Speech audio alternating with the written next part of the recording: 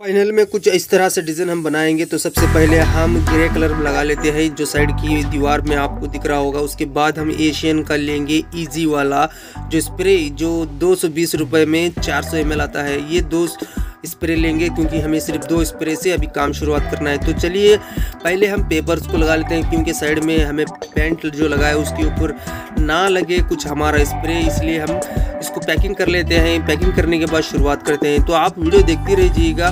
मैं थोड़ी देर के लिए स्कीप कर देता हूँ।